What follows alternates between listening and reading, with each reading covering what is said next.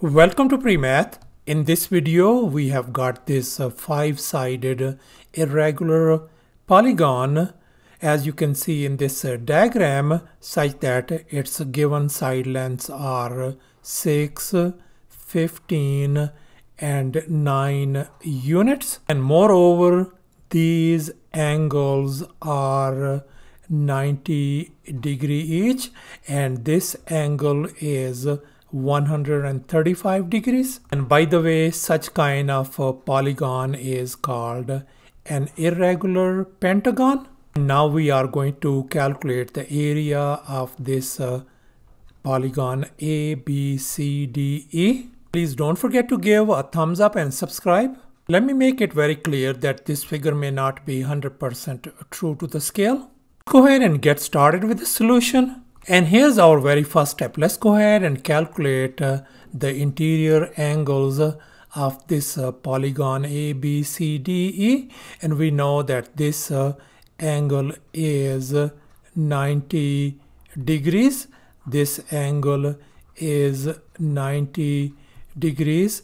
This angle is 90 degrees as well. And this angle is 135 degrees. So this is the only angle that we need to calculate. And now let's recall the interior angle sum formula.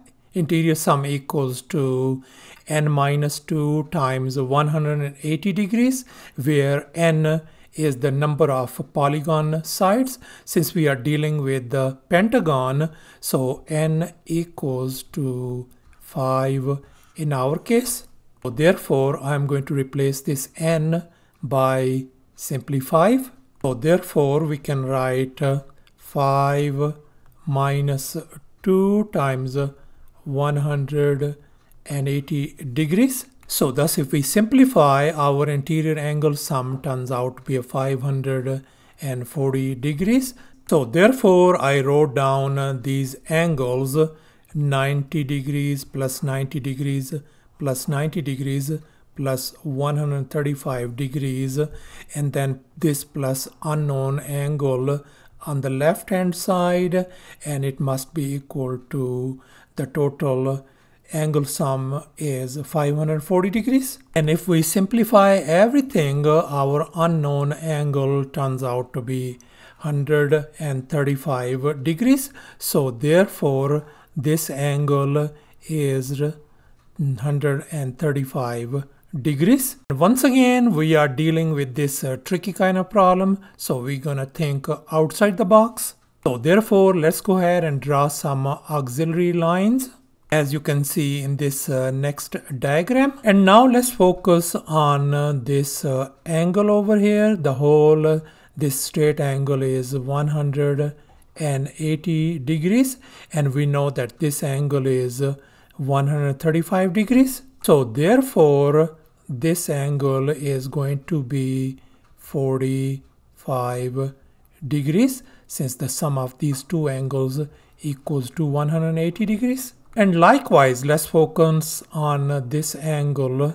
Once again, this angle, straight angle is 180 degrees and this angle is 135 degrees. So therefore, this angle is going to be 45 degrees as well. And here's our next step. Let's focus on this uh, triangle FAE. We know that this angle is 90 degrees. This angle is 45 degrees. So therefore, this angle has got to be 45 degrees as well since the sum of these interior angle must be equal to 180 degrees. So therefore we conclude uh, that this is an isosceles uh, triangle since this angle equal to this angle. So therefore this side length is going to be equal to this side length. If this side length is 6 units, this side length is going to be 6 units as well. So therefore this side length FA turns out to be 6 units. Therefore, this whole length FB is going to be sum of these two individual lengths 6 plus 15 so that is going to be equal to 21 units. So therefore our this length FB turns out to be 21 units. And here's our next step. Let's focus on this uh, big uh, right triangle uh, FBP. We know in this triangle this angle is 90 degrees this angle is 45 degrees. So therefore this angle has got to be 45 degrees as well since the sum of all these angles must be 180 degrees. So therefore we conclude that this uh, triangle FBP is an isosceles triangle since uh, this angle equals to this angle. That means this side length must be equal to this side length.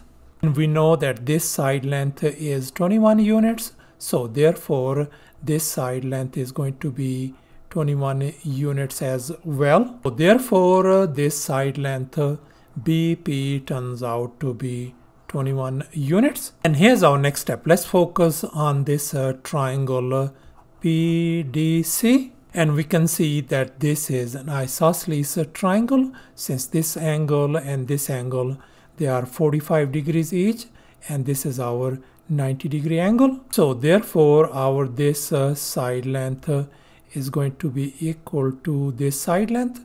If this side length is 9 this has got to be 9 units as well so therefore our side length PD turns out to be 9 units as you can see over here and in this next step, we are going to calculate the area of this uh, polygon ABCDE. And here's the strategy we're going to be using. Area of this uh, polygon ABCD is going to be equal to the area of uh, this uh, bigger triangle FPB minus the area of these uh, smaller triangle this one which is FAE and then minus this uh, triangle PDC as well. And if I represent the area of this uh, big uh, triangle as uppercase A and the area of this uh,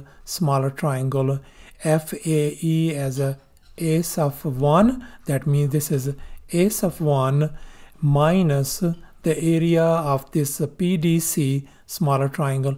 I'm going to call the area a sub 2 so this area is a sub 2 so therefore the area of this polygon ABCD is going to be a minus a sub 1 minus a sub 2 and here's our next step. Let's go ahead and calculate the area of this uh, big triangle uh, FPB now let's recall the area of a triangle formula. Area equals to a half time base time height. And in our case, uh, our base is 21 and our height is 21 units as well. So therefore the area of this uh, triangle FPB is going to be, I'm going to represent it with the uppercase A equals to a half times 21 times 21 as well. So therefore this area A turns out to be 200 and 20.5 square units. And here's our next step. Let's go ahead and calculate the area of this smaller triangle FAE. And uh, once again, we're going to be using uh, this uh, formula of the triangle. And in our case, our base is 6 and our height is 6 units as well. So therefore, the area of this triangle FAE, I'm going to represent it by a sub 1 is going to be a half time base is 6 and height is 6 units as well. If we simplify everything, a sub 1 turns out to be 18 square units. And now we are going to calculate the area of this uh, smaller triangle PDC and uh, we are going to be using this uh, triangle formula as well. And in our case, our height is 9 and our base is 9 units as well. So therefore, the area of this triangle PDC, I'm going to represent it by a of 2 is going to be a half times 9 times 9 and if we simplify everything our a of 2 is going to be 40.5 square units. And here's our final step. Let's go ahead and calculate the area of this polygon ABCD where our this a value is this one a sub 1 value is this and finally a sub 2 value is this one. So let's go ahead and fill in the blanks. So therefore i'm gonna just put down 220.5 and if we simplify everything on the right hand side this turns out to be 162 square units so thus the area of this polygon turns out to be 162 square units Thanks for watching and please don't forget to subscribe to my channel for more exciting videos. Bye.